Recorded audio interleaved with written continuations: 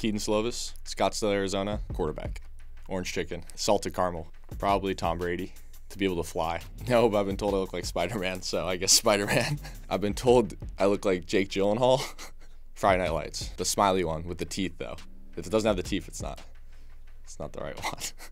um, I want to see Post Malone. When people breathe really loudly when they're eating, really bothers me. Brussels sprouts. Despise Brussels sprouts. Black Labs. The song My Type. I hate.